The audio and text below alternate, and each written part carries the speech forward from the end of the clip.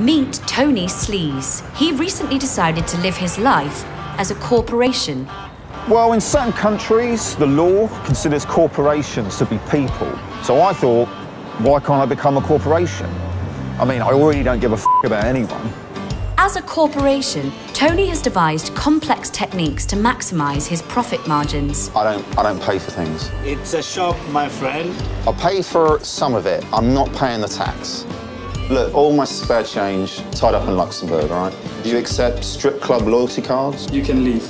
People say us corporations don't care about the planet, but I'm always campaigning on environmental issues. Climate change is a lie! It's a lie made up by polar bears to make us feel sorry for them.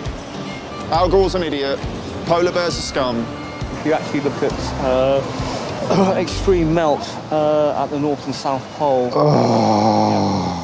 One law he cannot ignore is his obligation to maximize returns for his shareholders by any means necessary.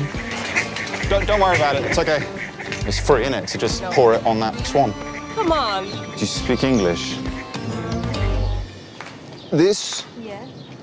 here, uh, and they're fish like. Oh, okay, okay. Relationships are key for a corporation. So obviously, I'm deeply concerned about the consumer's view of me.